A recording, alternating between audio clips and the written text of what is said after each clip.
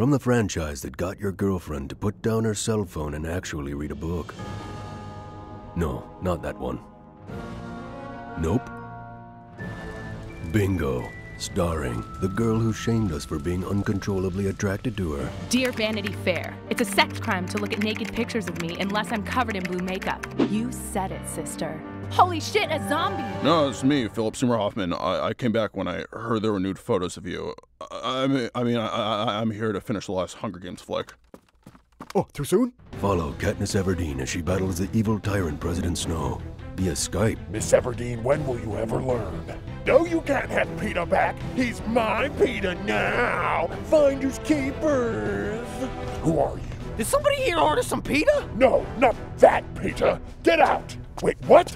Who are you people? We're the animal rights group PETA, and we're here to protest the use of the name Cat Piss Everdeen in your movie. We feel that it's demeaning to cats. Her name's Katniss, you stupid PETA f***s. Did somebody call for Peter? Yeah, we're right here. This reminds me of that one time when a poop tried to marry some pee. Mm. Hey, Brittany, want to get hitched? My name's not Brittany. You're in trouble now. No, no, no. You are not going to hijack this fake trailer with stupid flashbacks. Voiceover guy, do something. My pleasure. Join Katniss as she fights a revolution against Daft Punk stormtroopers using a bow and arrow instead of a gun or bombs. You know, like they have everywhere. Watch as her old drunk friend from True Detective guides her along the way. Listen, Katniss. if you want to get Peeta back, you're gonna have to take a shot with me. No. Kiss me. No! Can I at least see some nudie pics on your cell phone now? Ew, no. You want to see mine? This November, put your three fingers in the air like a tiny Nazi and wave them around like you just don't give a shiza. Katniss, there's a huge jet flying over us. Quick, shoot it with a tiny arrow.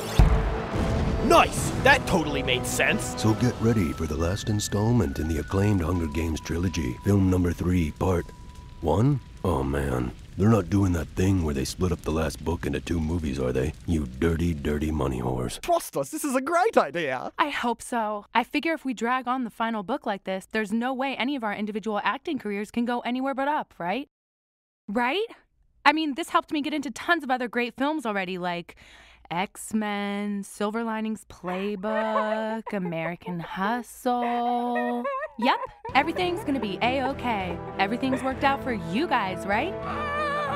Right?